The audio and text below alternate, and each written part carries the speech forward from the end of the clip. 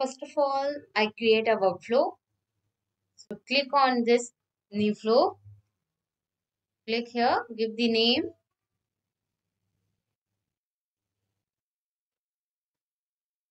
Click on create. And here you can see workflow is created. So first of all, uh, I show you which PDF I want to use. So this is the PDF that I will use. Okay, close it and go back on Power Automate. And here, first of all, I take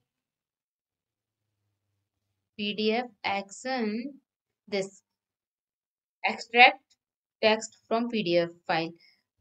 Drag and drop over here. Give the location of our PDF. So, so this is my PDF location automatically saved. And here you can see very variable produces extracted PDF text. Con save. Here I want PDF text in the text file. So I I will use next action that is uh, write text file.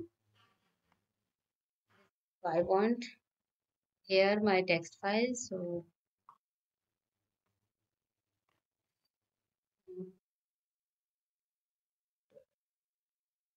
see. Hmm.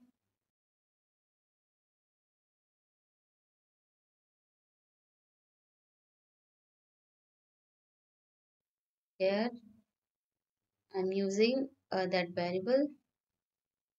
Click on save. Next display message I will use.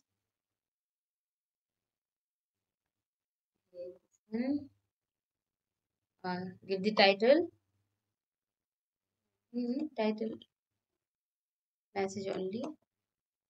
And here display which you want. I want here name as a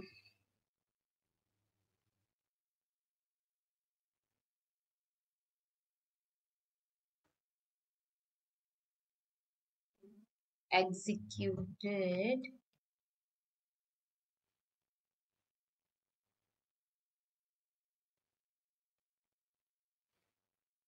Okay click on save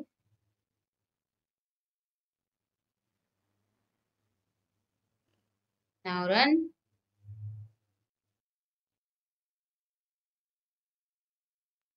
PDF file is executed. Now uh, our text file is ready or not. So this is a text file and this is the PDF.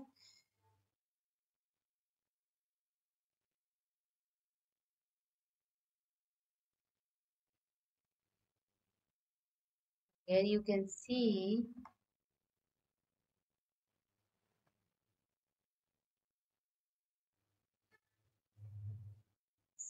Here you can see the data.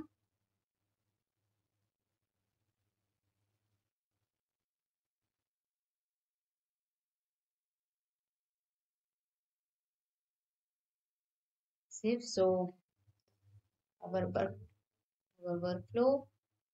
Yes. So our workflow is ready for read text and write the text in the text file okay thank you